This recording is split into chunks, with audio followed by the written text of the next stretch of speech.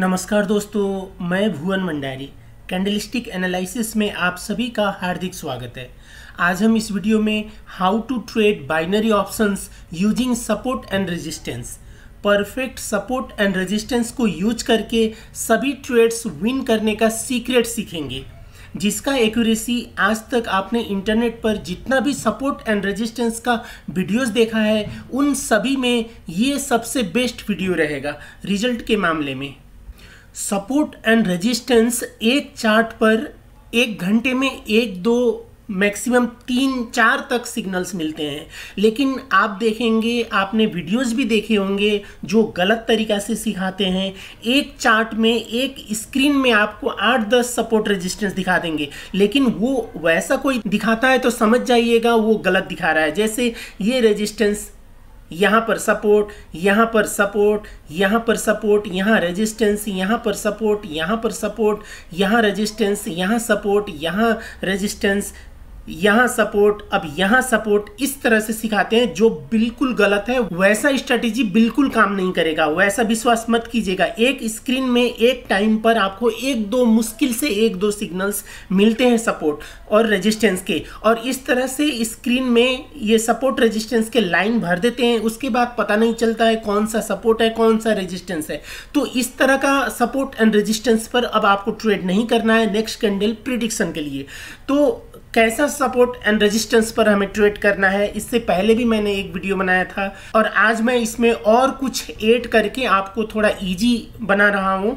तो हम सपोर्ट के लिए ए देखेंगे ए बनेगा तो हम सपोर्ट का सिग्नल लेंगे और परफेक्ट भी बनेगा इंग्लिश का कैपिटल भी बनेगा तो हम डाउन का सिग्नल लेंगे। और यहाँ पर देखिए, यहाँ पर ये भी बना है, ये हाई है, यहाँ लो है।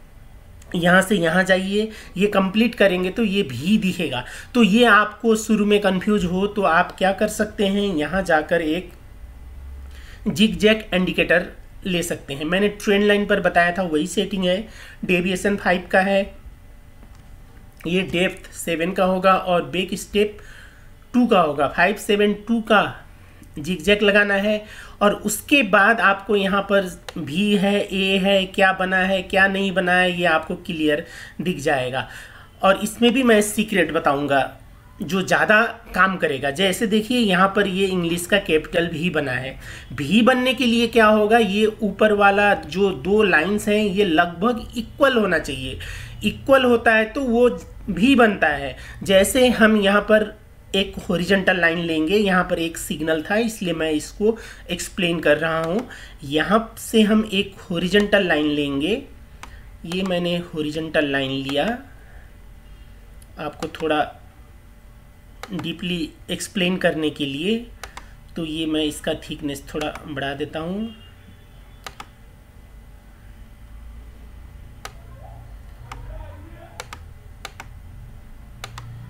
ये ताकि आपको आसानी से ये समझ में आ जाए, ये मैंने इसका थिकनेस पर बढ़ाया। अब हमें सिग्नल कहाँ मिला था? उसके टॉप पर रखना है। यहाँ पर ये लेग रिजेक्ट है और यहाँ पर स्पिनिंग टॉप बना है। शूटिंग स्टार जैसा, ये बहुत अच्छा काम करता है स्पिनिंग टॉप जहाँ सेंटर पर डोजी जैसा बॉडी होता है और ऊपर और नीचे बराबर लेग होते हैं। तो वैसा यहाँ पर रिवर्सल पैटर्न बना था। हमें शूटिंग स्टार स्पिनिंग टॉप बेरी सिंगल फिन ये तीन में से कोई एक यहाँ पर परफेक्ट एवरेज पैटर्न चाहिए। बड़ा, ज़्यादा बड़ा बनेगा तो वो फिर फिर इफ़ेक्टिव काम नहीं करेगा। तो यहाँ पर जहाँ सिग्नल बना है, वहाँ पर आपको होरिजेंटल लाइन रखना है और देखना है ये भी बना है कि नहीं। बिल्कुल भी बना है। अब पीछे वाला लाइन अगर तुलनात्मक रूप में इसके टॉप में आपने ये रखा है, पीछे वाला लगभग इक्वल होना चाहिए। थोड़ा ऊपर से आता है, थोड़ा नीचे से आता है तो क्या होगा? वो भी नहीं बनेगा। इंग्लिश का कैपिटल भी बनने के लिए टॉप बराबर होना चाहिए इस तरह से, तब जाके वो इंग्लिश का कैपिटल भी बनता है। तो भी बनने का कंडीशन मैंने बताया, लगभग इक्वल होना चाहिए। लगभग इक्वल तो नहीं होगा, थोड़ा ऊपर नीचे होगा, चलेगा, लेकिन ज़्यादा फ़र्क नहीं होना चाहिए। अब ये होने के बाद आपको एक सीक्रेट बताता हूँ। यहाँ पर बे बेरिस का सिग्नल बना है स्पिनिंग टॉप बना है। अगर ये सेकेंड टॉप है. डबल टॉप का ये सिग्नल है. सेकेंड टॉप है. इससे पहले वाला फ़र्स्ट टॉप पर जाइए. अगर ये इससे थोड़ा सा बिल्कुल जरा सा ऊपर, इसका हाई इसके तुलना में थोड़ा बड़ा होता है. देख सकते हैं इसका हाई थोड़ा सा बड़ा है. थोड़ा बड़ा होता है तो वो बिल्कुल बहुत ही परफेक्टली काम करता है. बहुत अच्छा ऑन एक्सपेक्टेड रिज़ल्ट देता है. ऐसे में हम, मैं फॉरेक्स का ये मेरा सीक्रेट है. फॉरेक्स में मैं क्या करता हूँ? इससे पीछे वाला फ़र्स्ट टॉप का थोड़ा सा हाई ज़्यादा होता है तो मैं इसका एस रखता हूँ और ये मैं वन इस टू टू आराम से इसका टारगेट ले लेता हूँ। क्योंकि ये इसको ब्रेक करने के लिए ये पहला जो टॉप है, इसको ब्रेक करने के लिए इसको पावर चाहिए।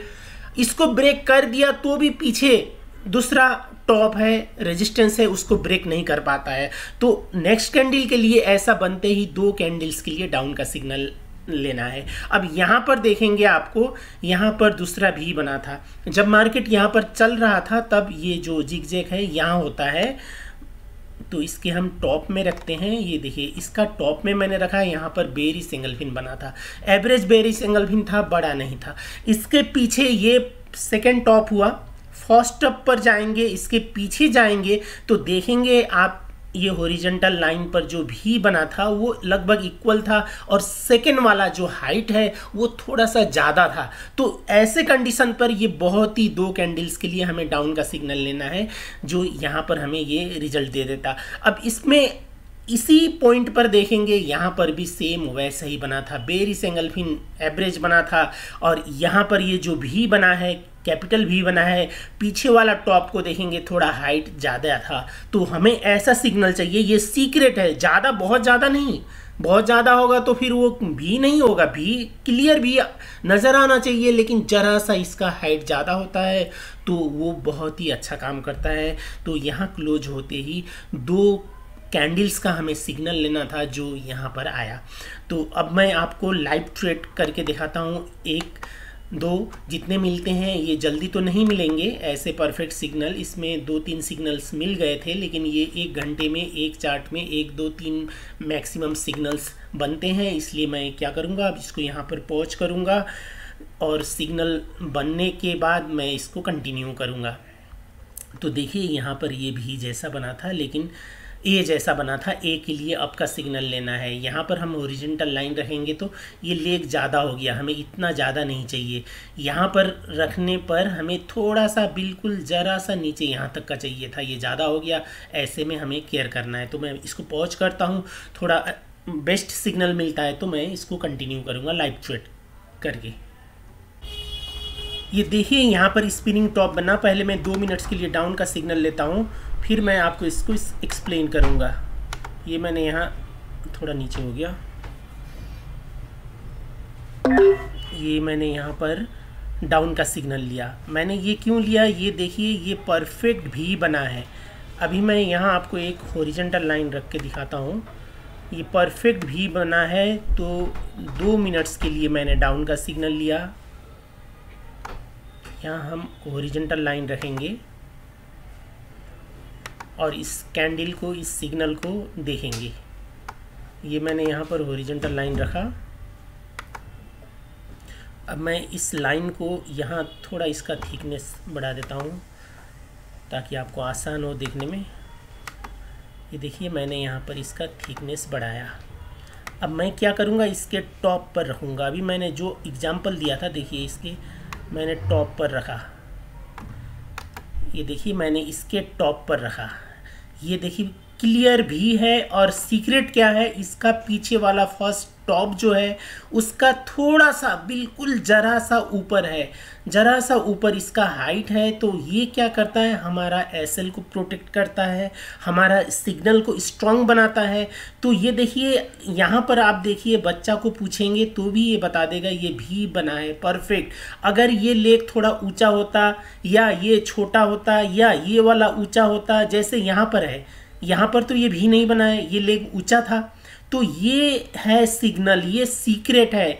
ये यद्यपि ओटीसी है, आज सैटरडे लाइव मार्केट नहीं मिलेगा, लेकिन लाइव मार्केट में लॉस कहाँ पर हुआ, ये आप ढूंढना मुश्किल हो जाएगा। इतना बढ़िया काम करता है। देखिए ओटीसी पर भी ये काम किया, मैंने नीचे ले लिया। सिग्नल हमें यहाँ स्पिनिंग टॉप मैंने दिखाया था, थोड़ी देर पहले दिखाया था, वही सिग्नल यहाँ बना था। तो ये देखिए कैसे दौड़ा, ये ये काम करता है। अगर ये, इससे ये वाला पीक थोड़ा सा छोटा होता है, इसको मैं ऊपर कर देता हूँ। देखिए हमने विन किया। इसको इसको मैं ऊपर करता हूँ। ये थोड़ा सा ऊपर कर देता हूँ। अगर ये हाइट यहाँ गया होता तो वो उतना इफ़ेक्टिव रिज़ल्ट नहीं देता जितना इसने दिया है। तो इस सिग्नल को आप देखिए, बिल्कुल ज़रा सा हाइट ऊपर रहता है तो वो बहुत ही अनएक्सपेक्टेड रिज़ल्ट देता है, जैसे लाइव ट्रेड पर अभी मैंने आपको दिखाया। तो आपके लिए परफेक्ट ए बनना है, इसका ठीक ऑपोजिट है, इससे पहले भी मैंने एक्सप्लेन किया, उस तरह से ट्रेड करना है। आज के लिए बस इतना ही, ये वीडियो देखने के लिए आपको बहुत बहुत धन्यवाद।